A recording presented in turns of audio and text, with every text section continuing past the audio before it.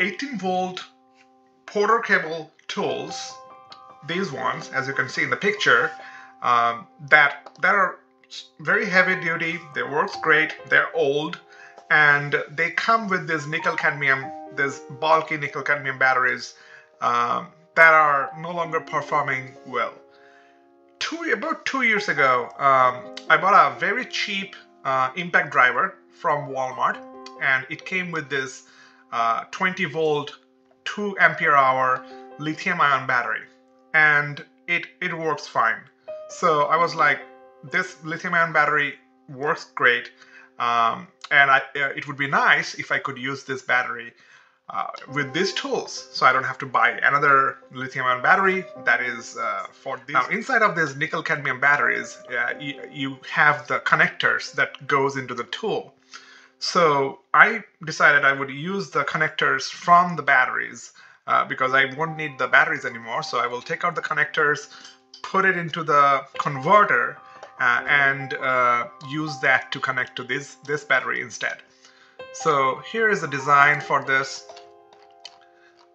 So as you can see over here, I'm basically uh, measuring this notch of this 20 volt battery, the notch you see over here, and I am designing the extrusion that will go into that notch, right? So 4.5 uh, millimeter thickness that goes into that notch, um, and the walls I'm keeping it mostly 2 millimeters to maintain some strength and uh, robustness of this uh, converter because it will obviously have to hold on to the heavy battery uh, while the tool is moving or vibrating um, and it needed some uh, robustness to it and since I'm printing uh, with PLA I might uh, change the final print to PETG uh, because uh, it will work better with vibrations in the long term. But right now I'm printing with PLA and thick wall would help with the strength of the tool. Uh, the round circle over here is just a mouse ear, uh, which helps with bed, bed adhesion. I use uh, extrusion of 0.6 millimeter to keep the print on the bed, which in my case it's a shiny surface of a glass bed um, and uh, it, it comes up, uh, it, it, holds the print down and uh, doesn't allow the print to peel off uh, or you know peel up uh, while it's printing, uh, which is nice. So let's look at the extrusions over here. So as I go there, as you can see, this is a tool. Let's turn that off. Uh, so yeah, the, the notches, this particular notch over here helps the tool, uh, helps the um, battery converter stay inside the tool.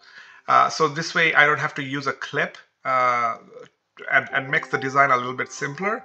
Uh, this notch, the hole cutout over here um, is for the battery to click in. So the battery has a lock mechanism that clicks into this hole uh, and you can use the existing clicking mechanism of the battery to uh, put it in and take it out, uh, which is very cool. And over here, you will see the extrusion. This particular extrusion is actually the one that will have the converter uh, from the battery uh, that will connect with the uh, tool itself. And this particular extrusion, so you will see I actually added that at the very end. So this was done uh, right at the end. Um, uh, extra extrusion that goes right to the bottom. And that is actually uh, what I call uh, manually designed support.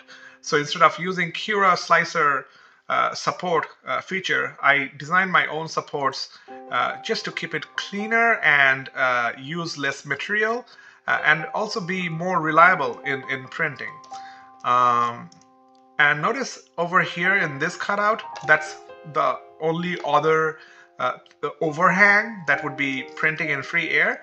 I am not adding any support over here because I have noticed that it, it knows that it needs to bridge this and it bridges that very well. Uh, I print this with 0.1 millimeter resolution, so the bridging works perfectly for that uh, because it's not bridging with too much material at that point.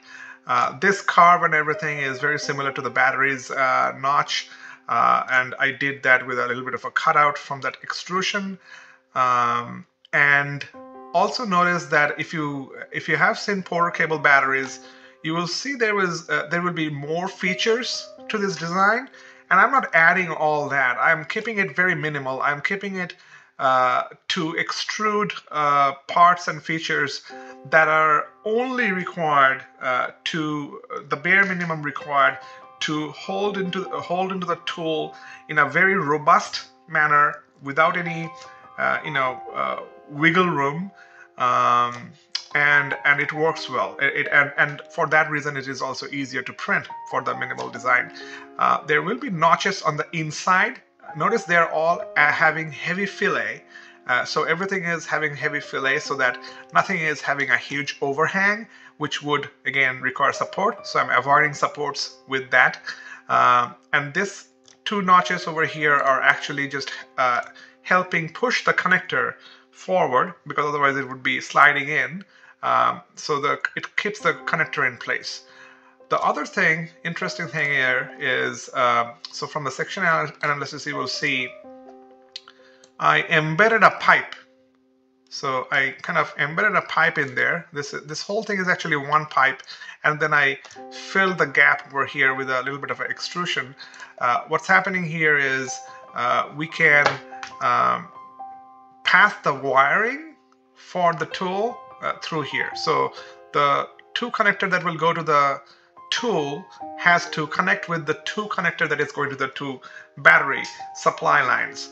Uh, and uh, I'm using some thick wiring um, uh, to connect the two. Uh, and I noticed that if, uh, if the wiring is not thick enough, it actually gets hot and starts melting the plastic uh, if you are not using enough because you know some of the tools not all the tools but some of the tools draws quite a bit of power from the battery uh, and you would have to be careful uh, for we that. We will not be using any support with this uh, Cura supports with this print.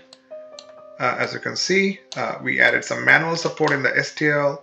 We, uh, we will be printing this with 0.1 layer uh, 0.1 millimeter layer height. So uh, this will handle this overhang quite fine. Uh, and this overhang over there, we will confirm quickly that it is indeed going to be bridged properly. These are all the settings that I'm using um, over here. And let's slice and let's take a preview of the print layers to make sure that the bridging is happening properly. So we will go right to that layer where the bridging is supposed to occur. As you can see over here, the nozzle movement confirms that bridging is happening perfectly.